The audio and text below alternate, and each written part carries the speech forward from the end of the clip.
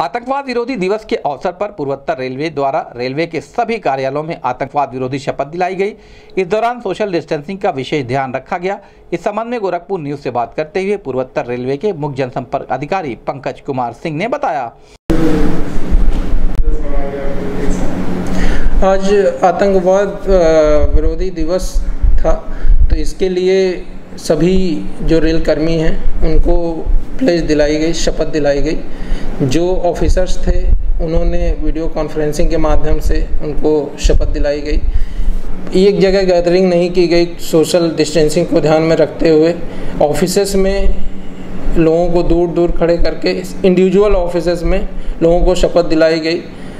लोगों ने social distancing का पालन करते हुए रेलवे के सभी विभागों में आतंकवाद विरोधी दिवस की शपथ ली।